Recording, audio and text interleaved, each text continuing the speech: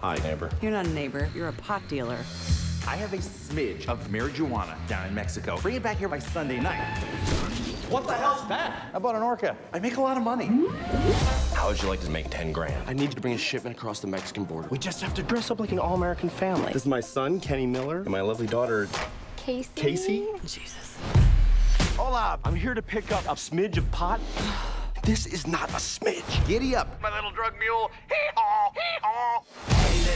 Hee-haw, hee-haw. Turns out that we stole from an international drug dealer. You all die now. As a family. Hold on. My wife is just a cheap stripper. Okay, prove it. Let's get naked, shaking money maker, baby. I'ma show you how. Have some respect. That's your mother.